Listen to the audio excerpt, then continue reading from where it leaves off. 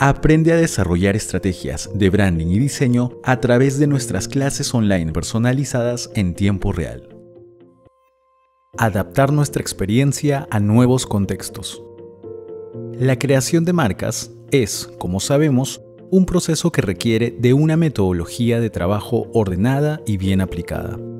Debido a que desarrollar un sistema de comportamiento para una marca requiere de una dirección comunicativa clara, debemos concretar una serie de bases y principios sobre los cuales trabajaremos y que nos servirán para acercarnos al resultado final a través de una serie de etapas progresivas.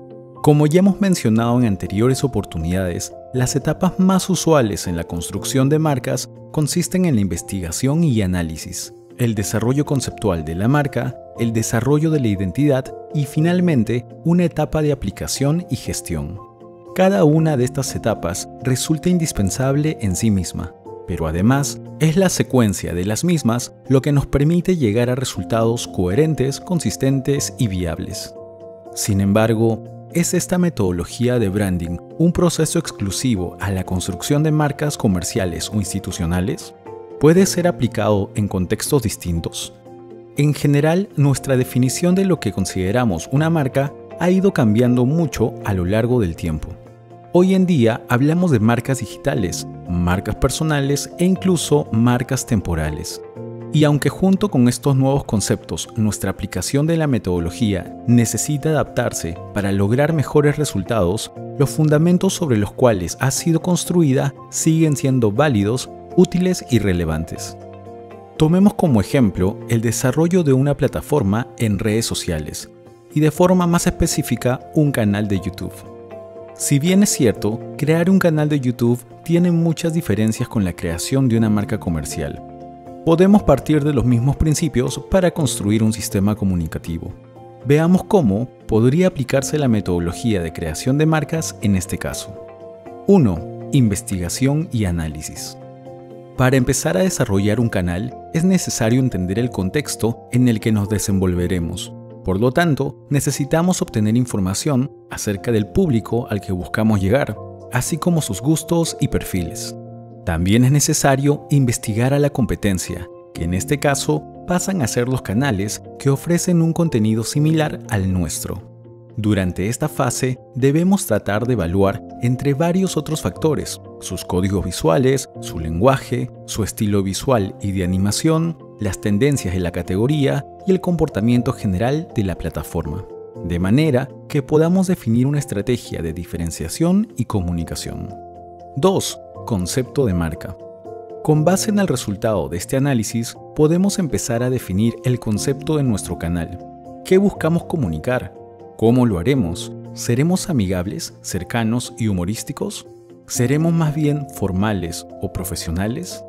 En esta etapa no solo definimos el concepto central del canal, sino también los atributos que buscamos proyectar y la promesa de marca que les hacemos a nuestros seguidores. 3. Desarrollo de identidad.